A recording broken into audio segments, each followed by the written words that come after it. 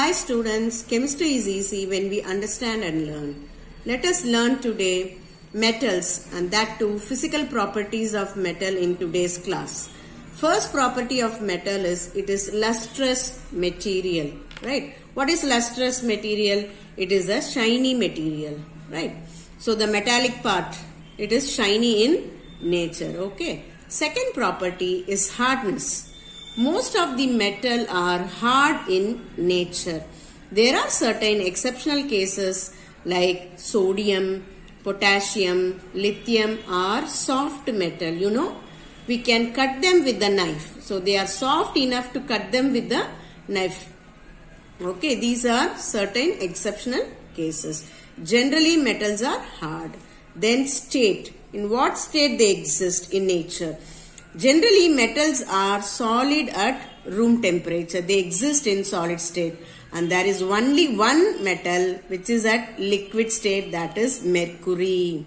Exceptional one is mercury which is at liquid state at room temperature. Right. Fourth physical property is sound. Yes, metal produces its own unique sound. When we hit a metal with another metal, it produces a sound, right? So that is the ringing sound we call as sonorous. So this is possible only with metal. In non-metal we don't see such property.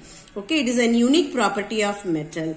So since it produces sound, so we use these metals in musical instruments in the form of wires. Right? Yeah. Then next property is conduction. Most important property of a metal. So it is a good conductor of both heat as well as electricity. It is a good conductor of heat and electricity. Okay, cop example, copper, aluminium are used in electrical wiring because they are conductors. Compared to copper and aluminium, copper is a very good conductor of electricity. Exceptional case, lead, mercury are poor conductor of heat. All metals are good conductor, okay. Lead and mercury are poor conductor of heat. So we have to remember this.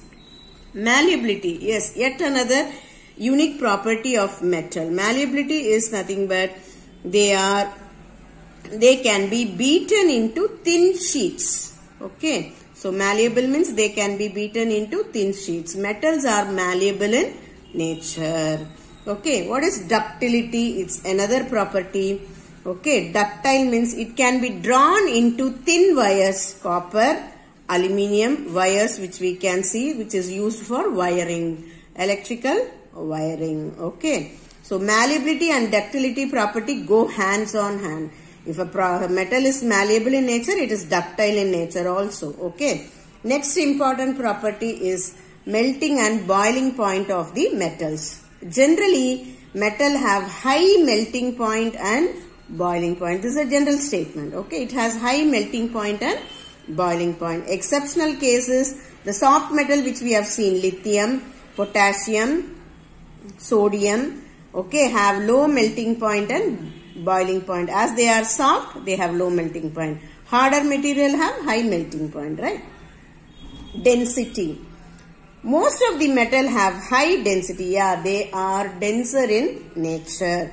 They are closely packed and they are denser in nature. Density of a metal is high. Okay, color. Last property is color. Generally, metals are grey in color. Generally, the metals which we use are grey in color. There are exceptions. Copper shows a pink color and gold has a golden color. As we all know, gold has a golden color. Rest of them are grey. Generally, they are grey in shades.